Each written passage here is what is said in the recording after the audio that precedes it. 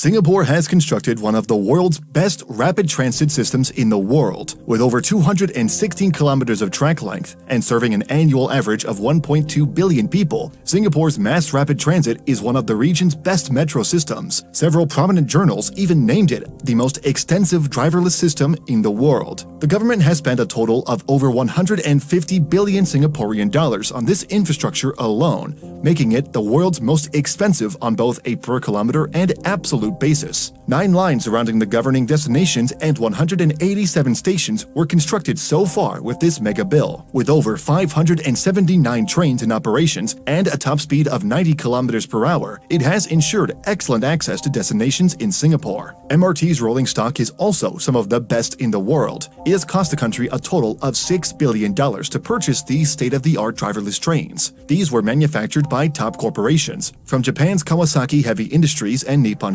Sharyo to France's multinational rolling stock business Alstom, and its up-and-coming electric CJ151 from South Korea's Hyundai Rotem, and a lot more. Although it has brought such a massive fee, it has also shown how essential the MRT system is. Not only has it helped citizens to move from one destination to the other, but it has also helped and benefited tourists from wanting to see more of what Singapore offers. While it is a magnificent infrastructure, it is also the oldest in the Southeast Asia region. It dates its way back to 1967, when the Singaporean government and the United Nations had a long-term plan for constructing the country's future infrastructure. The idea was brought up as Singapore was a tight-spaced country, and the need for an excellent transportation system was a necessity. It was only until 1972 that the government has officially carved out the plan called the Singapore Mass Transit Study. It was this study that would spark great debate on whether Singapore would have an all-bus system or an all-rail system. Several studies were done from the year it was brought up until 1982.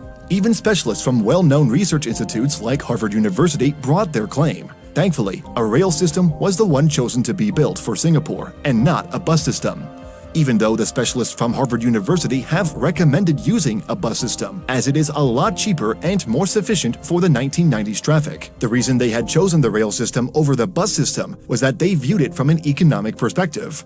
It wasn't just a transportation investment in Singapore, but a long-term boost in investor confidence that would help send real estate value to another level.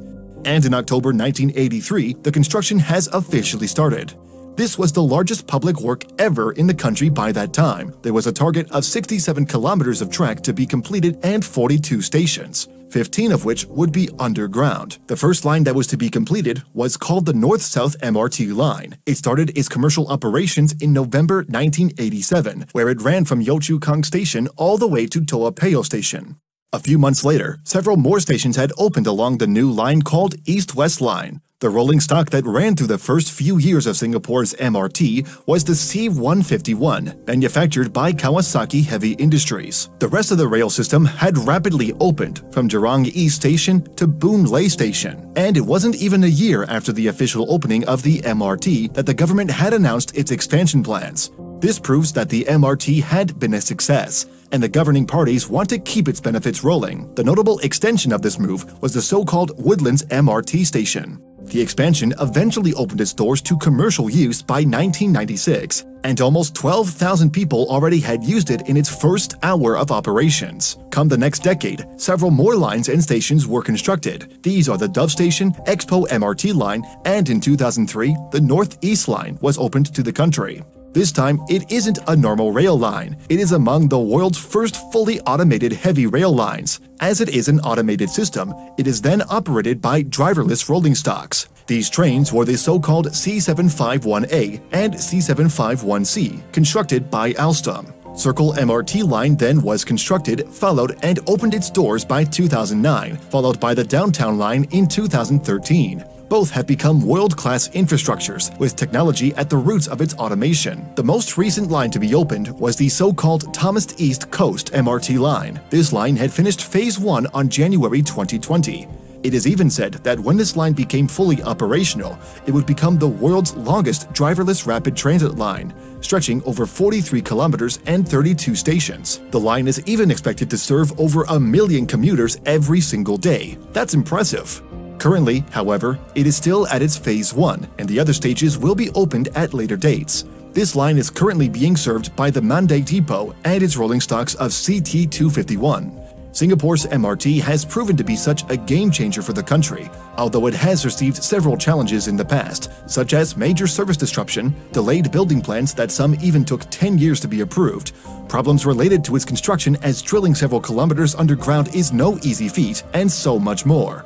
Even after all that, it has still proven to be an excellent use, good enough for the country to have more of what's coming. Future expansion that has been announced so far are Thomson-East Coast Line's other phases, Jurong Region MRT line, which was announced way back in 2013 and will be open by 2027. This would become the seventh MRT line and be over 24 kilometers long. The eighth line will be called the Cross Island MRT line. This one is an interesting one. Why? Because once it finishes its construction around 2030, it would be the longest fully underground line at 58 kilometers. This would surpass the east-west MRT line at 57 kilometers. Other future plans announced at the time of this writing are just expansions for current lines. In conclusion, Singapore's MRT line had come from just being a few kilometers long to become one of the world's best transportation systems. It has helped lower transportation costs for individuals living in the country by removing the necessity of needing a car to travel. It has increased rents and property prices throughout the years, benefiting homeowners a massive upside. In a 2019 study, over 65% of households can easily walk to the train station, and this is slowly improving, with the government wanting to make sure that everyone can easily access a train just by walking. A McKinsey report published way back in 2018 had stated that Singapore's public transportation system is indeed one of the best and most affordable systems. Singapore's public infrastructure had always been renowned as one of the world's best, from its Changi Airport to Marina Bay, and so much more. While you might think that this is already excessive for the country, it actually has just been the start. The Significant Infrastructure Government Loan Bill, also known as SINGA, was passed on May 2021.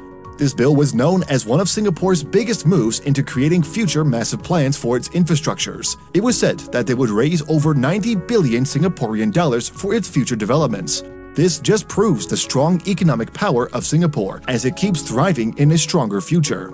It is one of the world's best wealth management hubs. Innovation and entrepreneurship are their keys to success in the future, and Singapore is on its way to shaping its country towards it.